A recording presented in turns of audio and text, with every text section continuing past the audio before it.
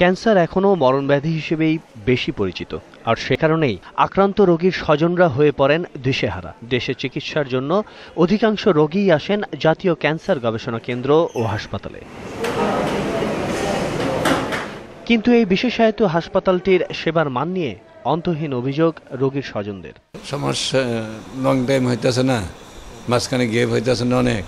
যার লোক আছে তাই এগিয়ে নিতেছে। ভর্তি হইতে খুবই কষ্ট হয় অনেক ঘোরাঘুরি করতে হয় অনেক দিন লেট করতে হয়। কোনো ওষুধ পাই নাই সরকারিভাবে সব আমার নিজেই কিনতে হয়েছে। যারা দৌড়াদৌড়ি করতে পারে হয়তো তারা কিছু ওষুধ টষুধ ফ্রি পায় আমরা তো আর এতটা পারি না। রুগীর ব্লাড টানতে হবে এই জন্য নাকি তাদের নাকি সময় নাই বিকেলের আগে পারবে না অথচ ডোনারগুলো অনেক দূর দূর থেকে আসছে। অভিযোগ স্বীকার করে নিলেন হাসপাতাল কর্তৃপক্ষ জানালেন সীমাবদ্ধতার কথা। ষোলো কোটি মানুষের দেশের সব মানুষ আসে এখানে সুতরাং সম্ভব না। আপাতত যদি আমাদের বিকেন্দ্রীকরণ যেটা করতে পারি তাহলে আমাদের মানুষের অনেক সমস্যার সমাধান হবে। অনেকেই উন্নত চিকিৎসার আশায় যান বিদেশে কিন্তু সেখানেও নানান ঝক্কি ঝামেলা। হসপিটালের যে টোটাল ম্যানেজমেন্ট এবং সেখানকার যে এই জাতীয় জটিল রোগের যে সূক্ষ্ম কাজগুলো এখানে কিছু সমস্যা। সারা বিশ্বে একই পদ্ধতিতে হয় ক্যান্সার চিকিৎসা। আধুনিক প্রযুক্তির প্রায় সবই এখন রয়েছে বাংলাদেশে। এমন দাবি বিশেষজ্ঞদের। ক্যান্সার চিকিৎসার আধুনিকতম চিকিৎসকগুলো চিকিৎসাগুলো